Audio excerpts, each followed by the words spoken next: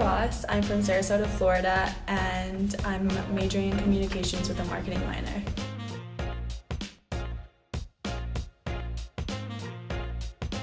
I like to write about sports, specifically tennis, because I play tennis at BC.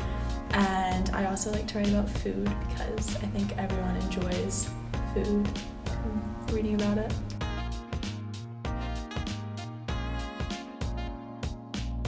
I think being really honest and just writing about your own experiences candidly makes a good opinion.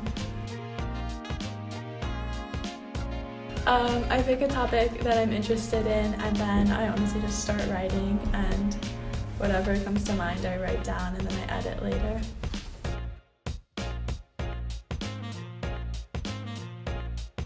Blacklist is my favorite TV show, or Criminal Minds,